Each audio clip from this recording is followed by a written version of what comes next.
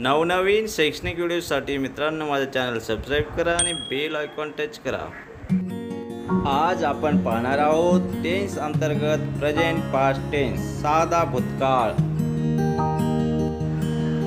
जेव्हा एखादी क्रिया होऊन गेलेली असते तेव्हा अशी घडून गेलेली क्रिया व्यक्त करण्यासाठी सिंपल पास्ट टेन्सचा उपयोग करतात.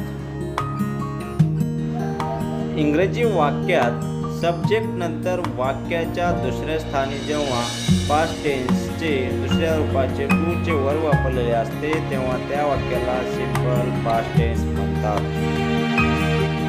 जेव्हा मराठी वाक्याच्या शेवटी वापरलेल्या क्रियापदाचे शेवटचे अक्षर ला ली ले ल्या यापैकी असते तेव्हा हे मराठी वाक्य इंग्रजीमध्ये रूपांतरित करताना सिंपल पास्ट टेन्सचा उपयोग करावा लागतो. तुम्ही रोज काय करता? हाच प्रश्न जर मी वेगळ्या पद्धतीने विचारला तर तुम्ही काल काय केलं? क्रिया ही नुकतीच घडून गेली किंवा काही वेळापूर्वी झालेल्या गोष्टीसाठी साधा भूतकाळ वापरला जातो. वरील प्रश्नाचं उत्तर जर दिलं तर तुम्हाला साधा भूतकाळ कसा असतो ते कळून येईल. उदा मी बाहेर गेलो मी अभ्यास केला मी खूप खेळलो मी पुस्तक दिले. नेम साध्या भूतकाळात कर्त्यानंतर क्रियापदाचे दुसरे रूप येऊन कर्म येते. एक्झाम्पल आम्ही सफरचंद विकत घेतले.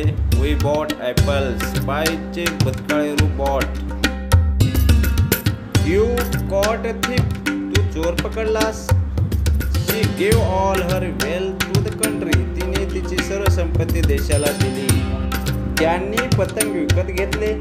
दे बॉट काइट्स काल गोपाळने केळी विकली गोपाल सोल्ड बनाना येस्टरडे अशा प्रकारे आज आपण सिंपल पास्ट टेन्सचा अभ्यास केला.